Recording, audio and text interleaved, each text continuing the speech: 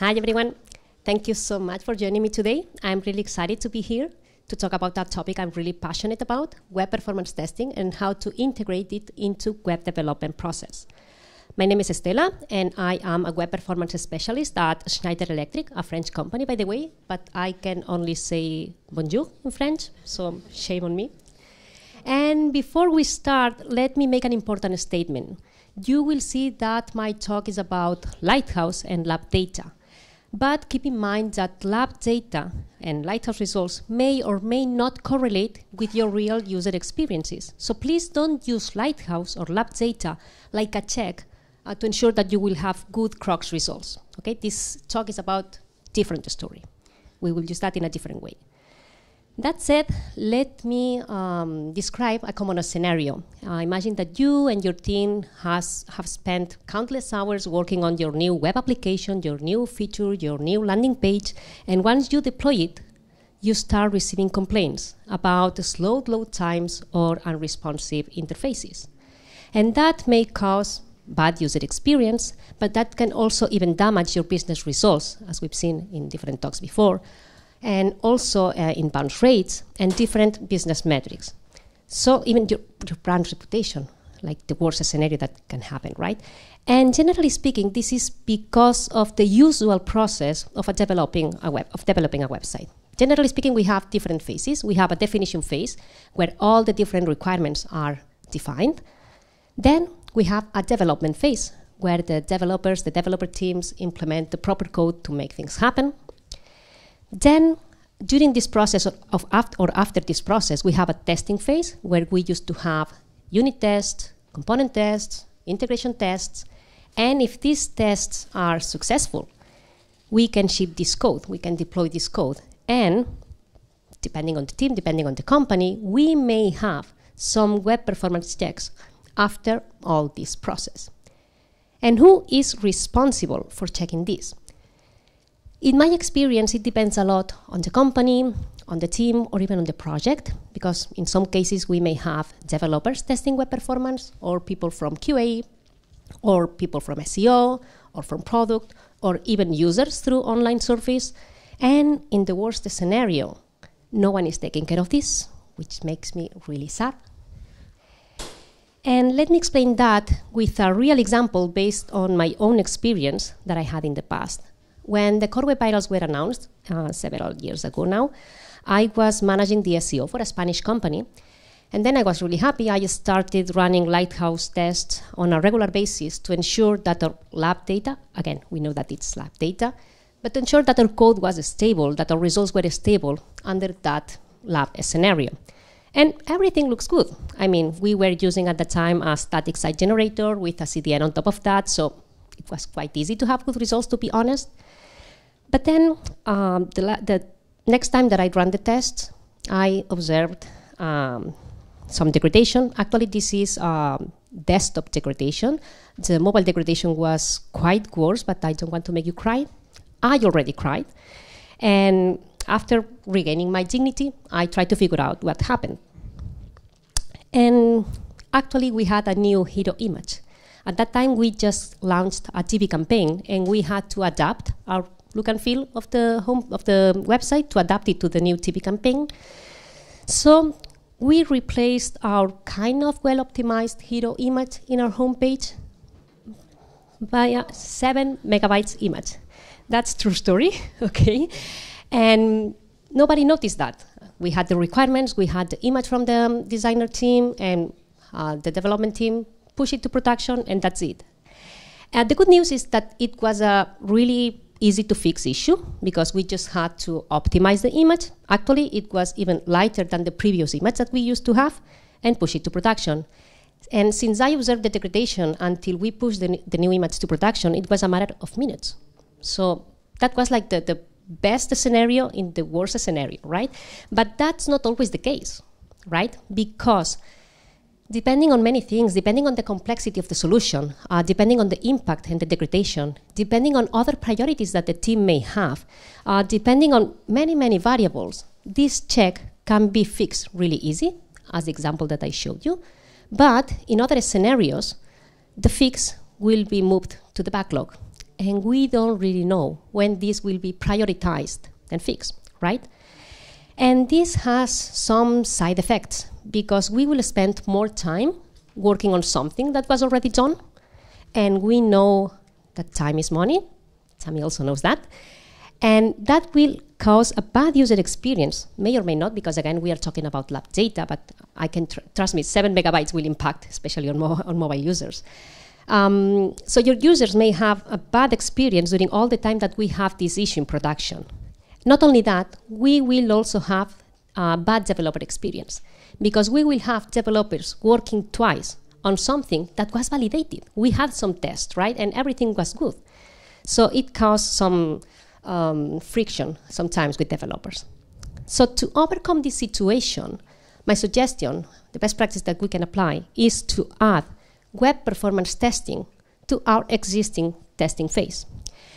And don't get me wrong, I'm not suggesting to stop uh, checking performance in production. Actually, I'm a huge fan of doing this because, generally speaking, the um, production environments are quite different from other pre production or lower environments. So, this is like a double check that it's interesting to do to ensure that we don't have any degradation or even we have improvements if we are expecting some improvements, right?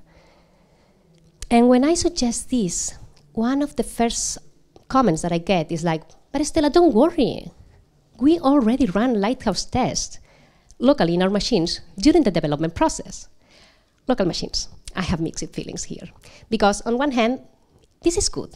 I mean, this can help to identify some potential issues during the development process, right? And this can also help a lot to improve the web performance culture because we will have developers being aware of this topic, being aware of some metrics that they should ensure that they are okay based on different thresholds, right?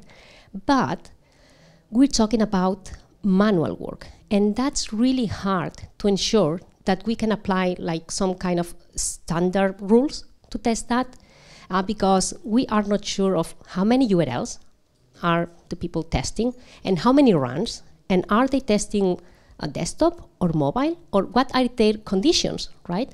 Because depending on every developer machine and conditions and so on, I mean, every local environment can be a totally different environment. So we don't have any stable standard environment.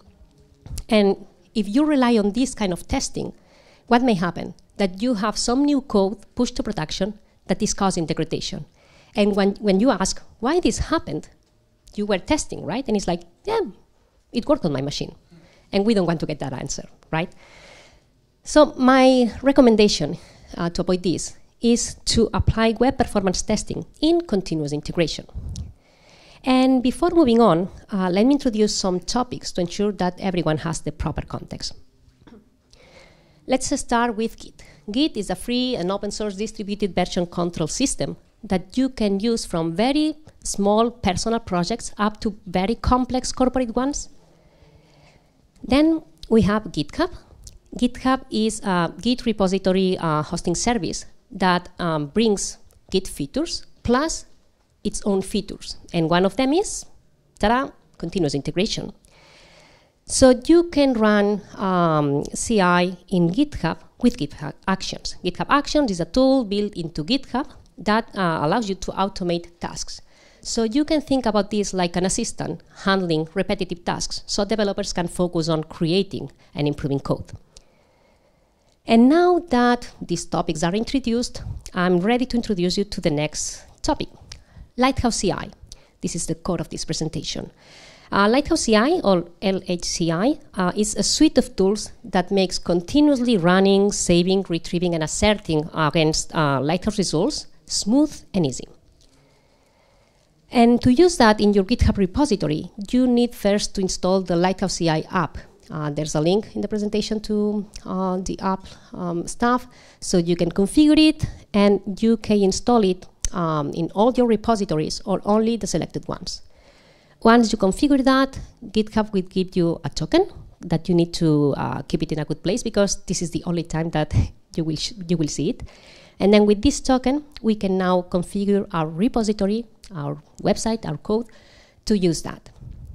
And this is a GitHub repository. And then we have the settings tab. Here we have the secrets, actions. We can create a new repository secret. and here we will put our token that we got from Lighthouse CI um, application. So let me guide you through all the process. Um, this is generally speaking a sample repository. So to set up your Lighthouse CI configuration stuff, your, your, workflow in this case, to be executed by GitHub Actions, you must uh, add your workflows under GitHub Workflows folder. So that GitHub will find them. And let's see how a file like this looks like. They, they must be YAML files, okay? So here's a basic example. Uh, you can see here that we will run this workflow. We have two different triggers. Whenever we push any code to specific branches, in this example, uh, when I push something to the main or to the development branch, I will trigger this stuff. Or uh, whenever I open a pull request to the main branch. And then we have the stuff that we're going to run. Here we have uh, some configuration stuff because we will run Lighthouse CI on an Ubuntu machine. It will use these actions in order to be able to be executed in with this node version. And then we have the run commands that we want to execute. Um, so here we have the npm, install to install the dependencies, and we also install the LHCI CLI. It's quite complicated to say that um, to have the proper LHCI commands. Then we build the application with um, npm run build. And then we have the LHCI auto run. And finally, we have here our variable uh, of the Lighthouse token. And then when we have this in place, this execution will look for a specific configuration file to understand what needs to be checked, right? And by default, this Lighthouse CI stuff is able to identify any configuration file called Lighthouse RC or that Lighthouse RC, JavaScript, JSON, or YAML file. And let's, if you, you, you can use other names, but you need to uh, inform them in the YAML file then, okay? Then let's look uh, at the configuration file. Um, you can customize five different things. Here you have a link to the documentation with all the different options because uh, we would need several hours to go through all of them. But let's see a basic example to see how it works. Uh, you can see here an example, it's very basic. You can see here that I'm uh, describing the URLs that I want to test. You can see that I'm using localhost. I'm not using actual URLs because if not, I will be testing production, right? If I put my example.com URL, Lighthouse will, will be run over that production URL. I'm starting the server with npm, npm start. Again, that depends on your repository and how you start your application. And the port, again, it depends on your project. If your project is by default running on port uh, 3001, you need to modify that to, to adapt it to your project. And then here we have the assertions, what we want to check, right? This is a very basic example. I'm just checking the performance score. I want to make sure that it's at least 80. And if it's uh, less than 80, we will have a warning. And then, um, because this is running Lighthouse, right? So I want to upload the outcome of the Lighthouse execution to a temporary public storage. So we will have a URL available for a few days to check the actual um, report. So let's see this in action. I created a very basic next repository to check these things and show it to you. So you can see here when I pushed some code, in this case to my development branch, we can see here in the actions tab, I can see here all the workflows that are executed. And here you can see it's still work in progress when I took this screenshot. And we have here the description of the comment that I did. And when it's finished, or even if it's still run running, you can go inside it and see all the details, all the steps that are done uh, through this workflow. And you can see here, by default, uh, Lighthouse will execute three runs per URL, but you can configure that in your configuration file. In this case, just one URL because I just put the localhost 3000 here. And then we have here uh, the, um, the temporary public storage link. And if we open that, we can see here, okay, that looks good, right? Um, you, you, also have here the three dots, so you can download the HTML file or the JSON file, so you are able to have this um, Lighthouse report if you want to store it larger than that, instead of just having that in the temporary public storage. And what may happen when we have uh, degradation? And actually, I added a heavy background image to one of the elements just to force to have worse results.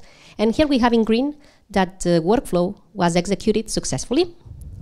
And when we check the details, here we can see that one of the, well, the only assertion that we had in, in our file is not failing because it's just a warning. You can see that weighted triangle for the warning stuff.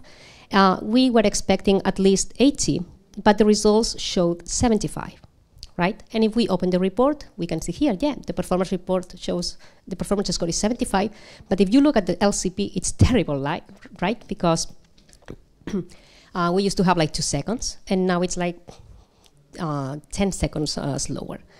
So that's not really helpful, right? Because you need to click a lot of things to be able to identify if we have any warning. so to make it easier for everyone to understand if we have any issues, it's really important to understand and use web performance budgets.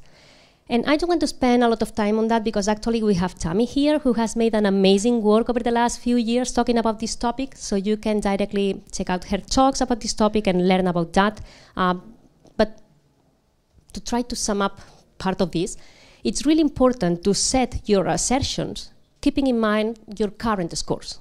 Because it doesn't, it doesn't make any sense to put uh, an LCP of 2.5 seconds when your application's LCP is 12 seconds right? It will always fail. And what is worse, I mean, first, it's failing. Yeah, it's always failing. I don't care. And what happens? In, instead of 12, now maybe we have 15.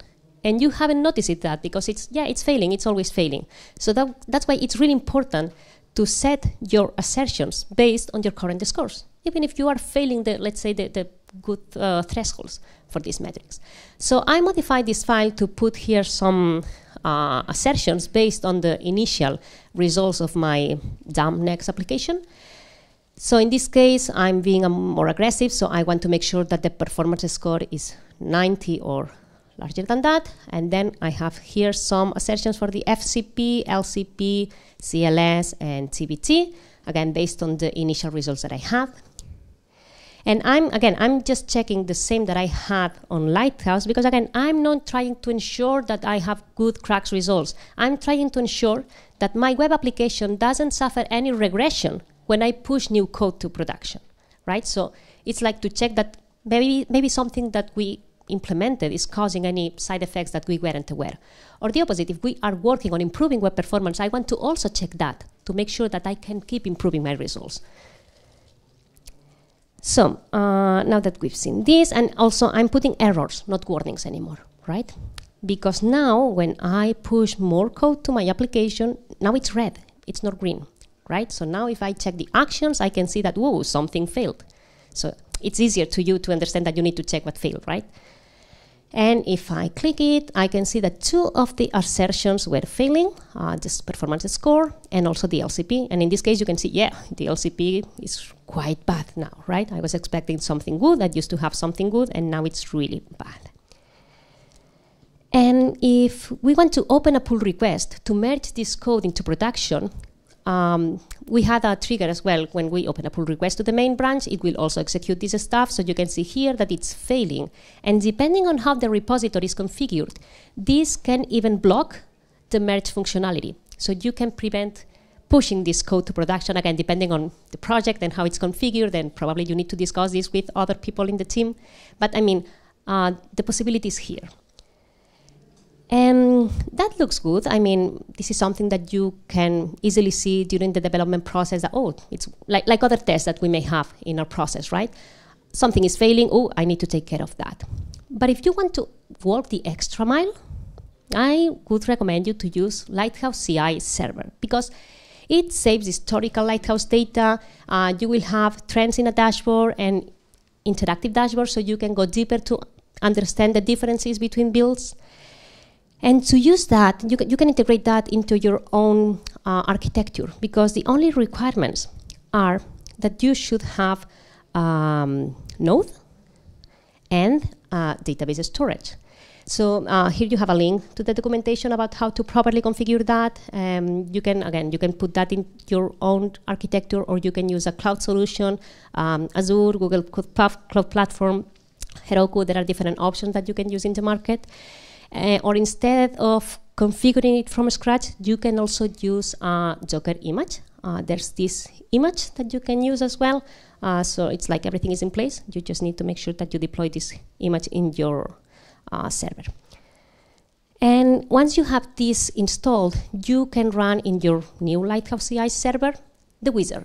This will guide you through a process to configure different things and to connect it to your GitHub project. And it will give you two tokens. One build token that we will use it to add data to this Lighthouse CI server, and the admin token, keep it secret this. And then with this build token, we are able to configure the Lighthouse um, configuration file that we saw before. Here we can see that instead of having the temporary public storage, we are targeting, uh, we have the server base URL and the build token. Keep the secrets as well, uh, even the base URL. Keep in mind this is also important. By default, this Lighthouse CI server solution doesn't offer you any kind of uh, authentication. Okay, so you need to configure it that, and that's why I don't like to use visible URLs in any repository. Okay. And here you have some screenshots about how it looks like. Uh, here you can see that I had like two builds failing, well not failing, it's, it's a performance score, right? So it's not that good. Then with the background image. Then I remove the background image, it's getting better. And then I added an IMG tag, it's getting worse. Not only that, because that's just the performance score, right? Here, uh, well, also important, you can check the different URLs that, do, that you are monitoring, you are checking with this um, Lighthouse CI stuff, and the branches, because depending on your configuration, you will have different branches here to check the different data.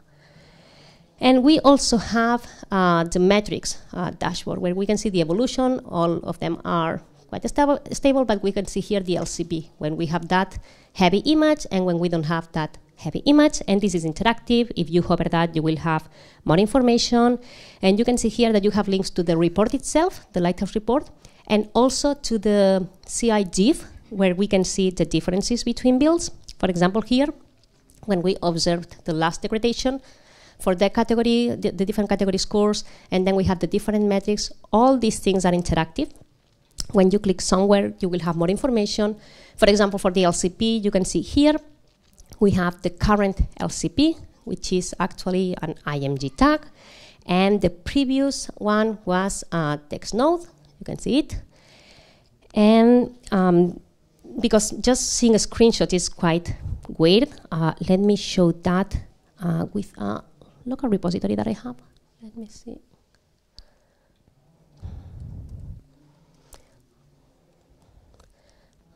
I can see anything Yeah, this is the LHCI server. Uh, if you have different projects, you will have here the list of the different projects. And then here you have the trend that I told you with the different ups and downs depending on the different things that you are deploying. Uh, again, here you have the URLs that you are checking, the development. In this case, I just have one URL for the development. Uh, here you have the trend for the metrics. And as I was mentioning, here we have interactive stuff. So we can see uh, the report itself or the, or the diff. Here you can see, you need to check the base, which is the previous one.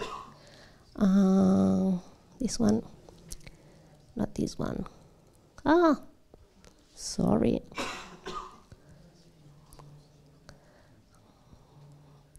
I don't see it here. You can see uh, the degradation of the different categories, and then, as I mentioned, everything is here uh, interactive. You have a lot of information, um, so you are able to deeper investigate what caused the degradation to any of these metrics, right?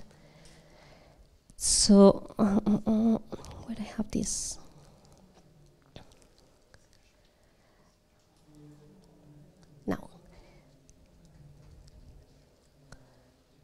Wait. Sorry, I'm not mirroring the screen, so I'm not able to see it. Yeah. So you've seen that in action because just with a screenshot, it's quite complicated to see how interactive it's um, to, to interact with that. And then uh, the next question that I may have, or maybe you are wondering, is like, oh, but Estela, we don't, we don't use GitHub at all. Or we have complex projects, and it's not just an, a JavaScript uh, front-end repository that I, I, can run and have pages available to test locally, right, uh, in GitHub. How can we apply web performance testing? And that's a really good question. Uh, but the answer is, it depends. because it depends a lot on your application, on your um, resources, on how you want to manage that. I mean, you can build your own uh, system based on um, different tools, or you can use different commercial tools that directly allow you to have a UI. In this case, probably you need to whitelist your pre-production environment um, IPs or ensure that the user agent of the tool is uh, able to access your pre-production environments because in this case we will be able to we are not testing locally in a repository. We want to test a pre-production environment URL. And most of the times, at least the best practice is to ensure that they are not publicly accessible. So depending on how you want to manage that, you have different ways to do that. Um, but I mean, it's not impossible, but it's harder, okay? And then um, to wrap up, uh, key takeaways of this session that I hope you get with you. Uh, web performance testing helps prevent degradation in your development, in your deployment to production. Again, we are not just checking that our core web vitals will be good. We are just checking that our code is not suffering degradation in terms of web performance. Uh, it will reduce the time spent troubleshooting unnoticed web performance issues. And we will also improve developer experience because we won't have that um, back and forth uh, working again on something that, that was already done and validated in the past. Um, you can integrate web performance testing into your web, de web development process with LHCI. And LHCI server is a great option to help you visualize trends and identify potential problems with uh, when degradation is observed. So that's all that I had for today, and I don't know if we have time for questions. Thank you.